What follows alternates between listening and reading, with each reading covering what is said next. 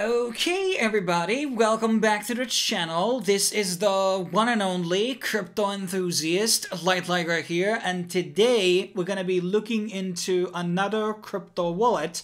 This one is called Exodus, which is available on desktop, Android, and also on iOS. It's hands down my favorite multi-coin wallet, and you will understand soon why. And I've been using this for a very, very long time. They have been offering a very great service. They're updating their wallet every two weeks. So there has been a new influx of new feature, visual changes, and many new coins and tokens being supported. So let's get started. So first of all, we have to log into the service. So there's a password protection to it, obviously, and then there's a seed key in case you uh, your computer gets wiped out or something. So you can uh, put it on your phone or something else.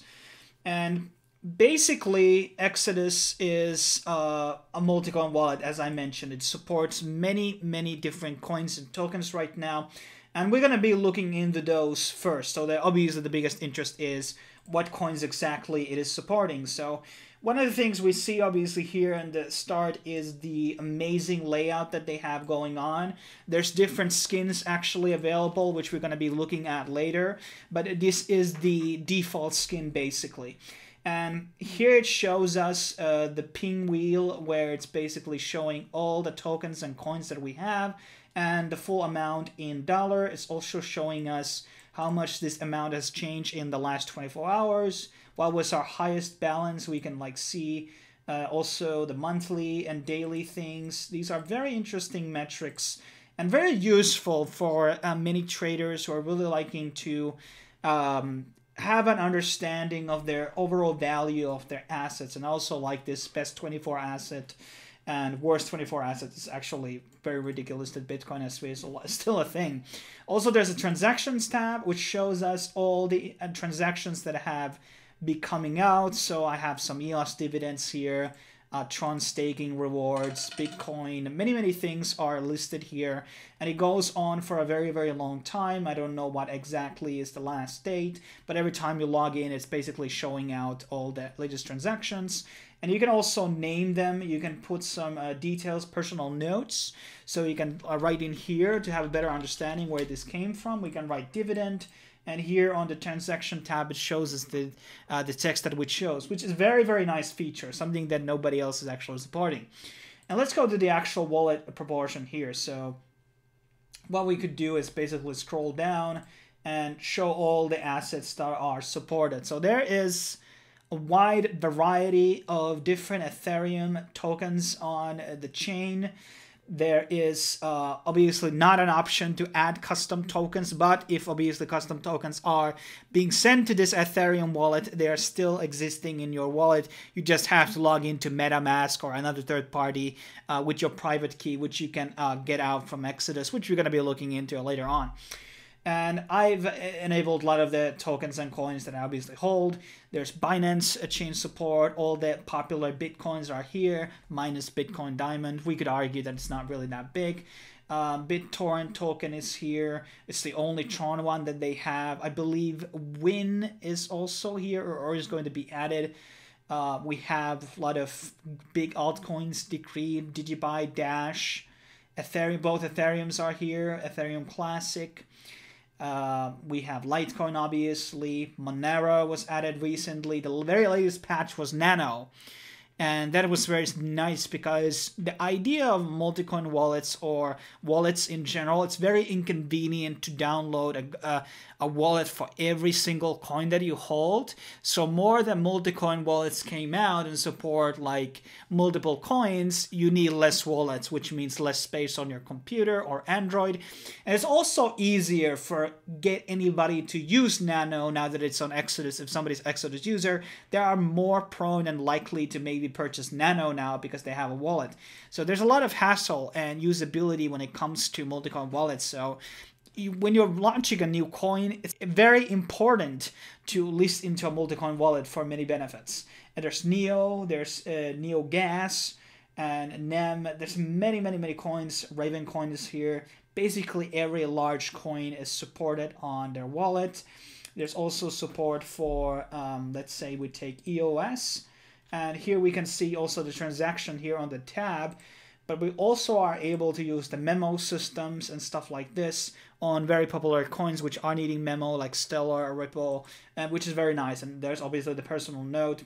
It also calculates us um, the amounts. In case of EOS, there's the advanced tab which shows us the RAM and the CPU and the net things. There are these specific things uh, for certain coins. I think they're going to be adding maybe things in the future like able to vote for delegates on Tron or other chains for in terms of ontology. Um, we can use also this uh, claim thing. So you can claim gas and you can claim Neo. Um, uh, in in this wallet. So this is very uh, convenient for me because I used to have my ontology on different wallets uh, before, and I've been just slowly moving everything to Exodus basically as they have started to support many different tokens. And here we can see uh, the transaction sound. I love that coin coin thing. And that's pretty much for the wallet. So I absolutely think that there's a very, very high roster of different wallets supported here, which are very, very good. Um, there's also the backup thing. We talked about the password, the 12 word recovery phase. There is an exchange system. It is somewhat limited. There is a certain amount of coins are, that are supported here. And there's some, I think this is using simplex. So uh, you need an actual high amount. So as you can see, uh, well, this is not a good example. Let's say Bitcoin as we want to uh, put all in and it has uh, a quite high minimum, so this is not necessarily the best swapping system, but it's nice to have. I think something that Exodus could do in the future is definitely adding a feature of that decentralized exchange. That's what Komodo is doing. That's what a lot of wallets are trying to do eventually, becoming the DEX of their own. Obviously, there's some legal hassles there, which they don't might, might want to touch, but I would argue that that is a very, very good move to do. Um, let's go back into, well, there's localization. So when you go in and log in, you can choose any type of a currency. Doesn't actually have all the currencies, but probably the most dominant ones. And we talked about the teams. I think these are very nice. I don't know if there's custom ones. Um, I think this is the origin one. Let's see the textures. Uh, I'm not very into these one, to be honest. I don't, I don't think these look very nice. So we're going to use just the, what is the normal one? How can we actually, the skins, Vessel, Aurora, Deep Space, Dusk Sky, Matrix, okay, that's clever. Uh, ChangeNOW and uh, Changelly are obviously a bit of a partners here. If you're Dash fan, Decred, Crypto Space. I think we're gonna go with Aurora actually. I think this is quite nice and there's security. There's hardware support, so Trezor is now supported by um, Exodus. And let's take a big quick look at the control. So what you need to do, Control Shift D will open the developer uh, thing. So in here, you can do stuff like with Bitcoin. Um, you can sweep your wallets. So you know, basically when the forks happen, you can sweep the wallets if there's some Bitcoin Cash or Bitcoin SV on them. It's a very, very nice feature. It's a very secure way to also do it because, as we know, some of these uh, fork swaps can be, well, unsafe and they might be stealing your private keys. So it's always wise to, um, you know, store them in a good place. But basically, in this whole system, you can see every private key for every coin that is supported by. This is all the base coins that they're supporting right now, plus all the Ethereum tokens and uh, the Tron tokens, basically. And I don't actually know why BitTorrent is there as, as separate. Well, whatever. And there's a window feature. There's data folders, notifications on when you get a payment sounds, windows, you know, show it, was it showing, well, it should show, yeah, okay. The Monero thing actually requires you to have a lot of uh, things. So the Monero balance will not always show if, if you have, you know, too low amount of space in your PC, just so you know. But um, that is pretty much my rundown of Exodus. If you are looking for a wallet that is pretty much supporting all the popular coins and tokens, um, Exodus is way to go. I think uh, their you know fast pace of updates have been very terrific.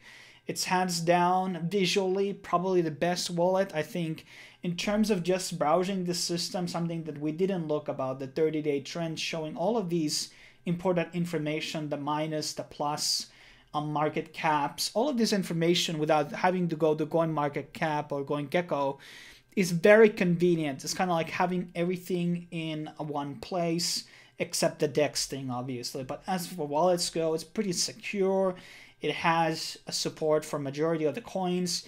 It just needs a couple of adjustments to some of these altcoins that are there. So I would like to have delegate voting for Tron, maybe delegate voting for ARK as well. A couple of these things could be added there. Some staking features, staking supports and maybe cold uh, cold support, cold uh, gold staking, things like these probably would be uh, good things to have in the future if they're adding things like Callisto or Tezos at some point uh, to the support.